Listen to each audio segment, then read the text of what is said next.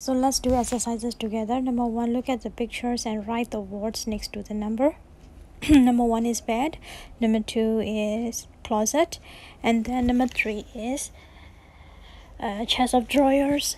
And then number four is number four is night table nightstand. And then number five is alarm clock. Number six is table lamp.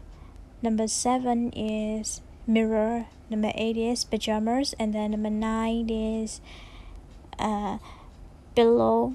And then so number two is write down five more things that you need to take with you if you go to stay with a friend for one night. Of course toothbrush. So what else do we have to bring? So comb.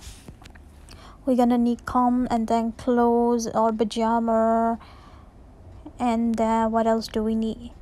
A hairbrush towel right? So that kind of stuff.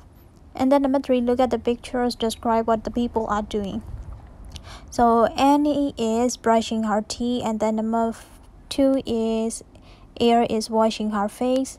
And then number three mr and mrs park are having breakfast.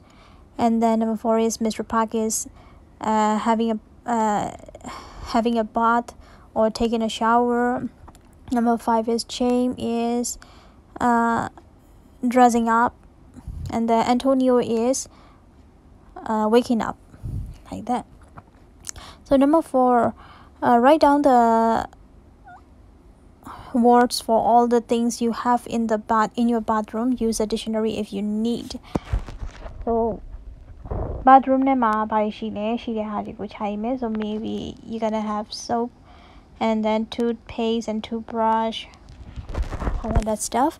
Number five is describe your bedroom uh, write four or five sentences. So bedroom which will describe your room so um, so what do you have in your bedroom? What is your bedroom looks like? Maybe is that your bedroom big or small?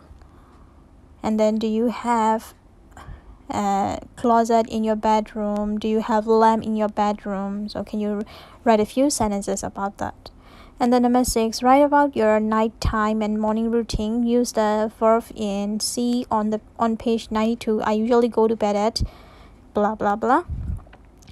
So nighttime and morning routine ညဘက်ကမနက်ပိုင်း routine တွေအကြောင်းကိုရှိမယ် so verb တွေကို so usually sometime often အဲ့လိုဟာမျိုးတွေ adverb frequency ကိုသုံးပြီးရှိပြီးပါတဲ့ so that is all for this unit